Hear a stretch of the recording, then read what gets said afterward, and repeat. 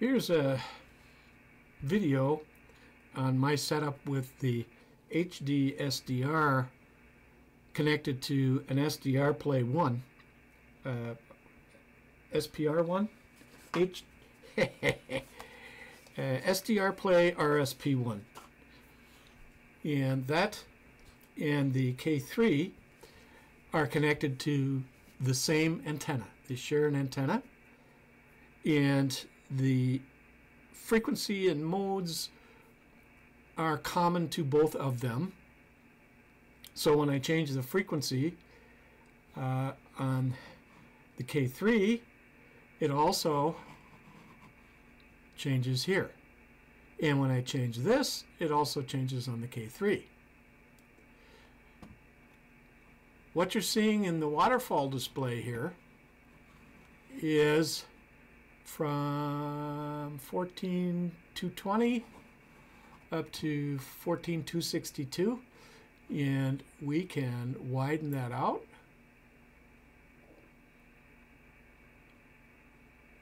So there's from uh, 13 what 325 up to 15200 or we can zoom right in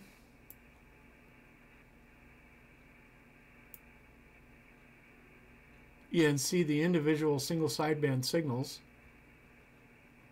This, this line here is just a different way of representing the uh, waterfall. It's sort of an instantaneous thing. Down here we have the audio waterfall and the audio bandpass. And with this line I can change the bandwidth of the receiver. And these modes follow what's selected on the K3.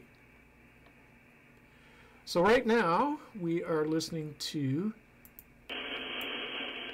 the audio of the HDSDR and let's narrow up the bandwidth here down to about 2.7 and I can just click and listen to a single sideband.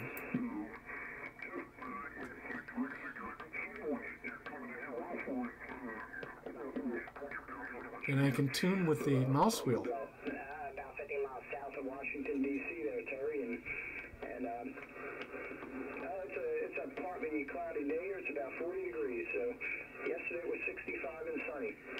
It just goes to show you, just stick around a day, right? Anyway, uh, back to you Terry. Uh, Victor Alpha 7 Echo Zulu, W9P. Yeah, it's W9P. You what's up? Oh, yeah, let me make sure you got that right there. Uh, whiskey. And I can click on another signal. Let's click on this guy. Uh, WU99 radio X-ray, and I was just commenting that I could, I could tell it was a via signal signal on the pan adapter from 50 kilohertz up the band. I could see a very uh, steep skirts on it. Um, with uh, you were you were obviously quite loud, but still very steep skirts and excellent uh, excellent signal. Go ahead. Oh God, thank you, Gary. So here's the here's the bandwidth that we have selected. Now let's widen this up. John Kenny, driving Elecraft 100 watt amp. And we can see driving, old Commander to about 800. his bandwidth is just about 2.8. Is also using an Anon, but he's using the big one at the 200 watt. Uh, did you hear a K9RX? And here's his audio. Mine's not 200 watts either. It's the uh, 200D uh, non, but Okay, so now let's signal. listen Yeah, to yeah, the the K3. scatter, But but uh, pretty good. About five, five by eight to nine, uh, Gary. Over. Yeah, I'm turning the antenna now. It's pointed towards South Africa. Um, yeah, I- I'm sure you'll come up just fine. Uh, I've, I've actually I'm, I'm using a Yaesu 5000 at the moment, and I do have a Flex 6700 here. And of course uh, I can I've had for months Change the but I've yet to transfer. bandwidth on the K3. That's completely separate from the HDSDR. I am on the um, The only thing that's linked is the frequency and the mode. I'm not sure how to get it testable because I'm not sure I agree with the, what they call the fast lane, the configuration or generation two SDR. And they're not quite synchronized. The HDSDR takes a little bit longer to get through because of the processing. Looks like there's a lot of activity on the band. We got 1,000 uh, 14160. And here's another signal, another signal, another signal, another, another, another, another, another. Yeah, 14280. Uh, yeah, it's busy for a Friday afternoon. Okay, so let's see what CW is like.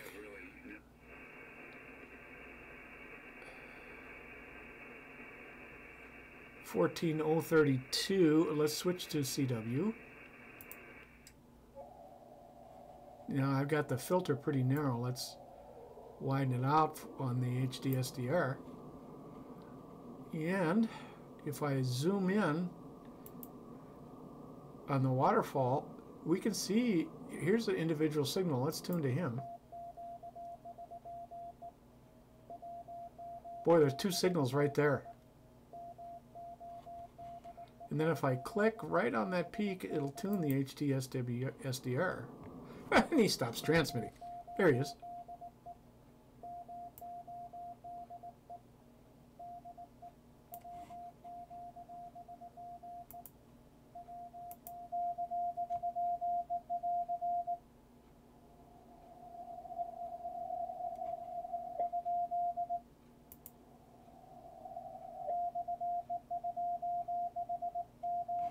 And then it looks like there's some weaker signals here. Let's try tuning to this one.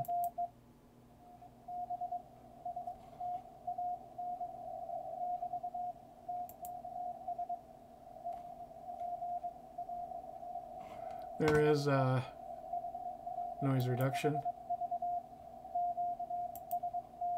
noise blanker.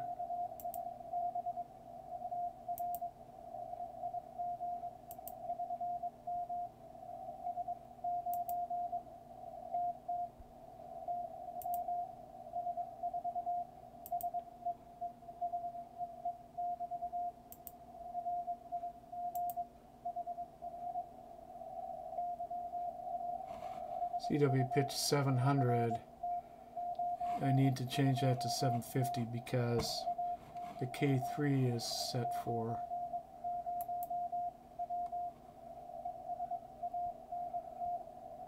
Seven hundred, and I don't remember where it is.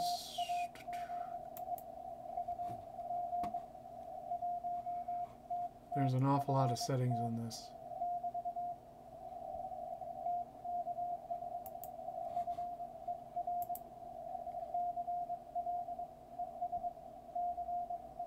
That's right where I was.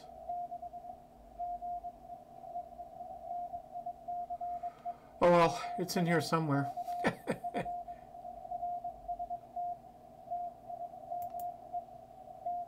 ah! There we go. Okay, so that's pretty much what there is. It's pretty neat. Um,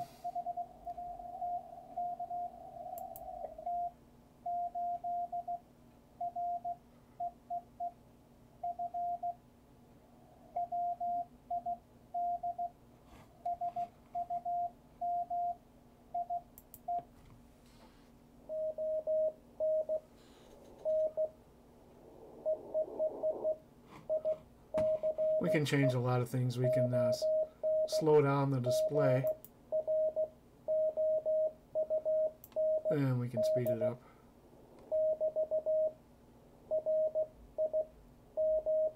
Rig. Kenwood.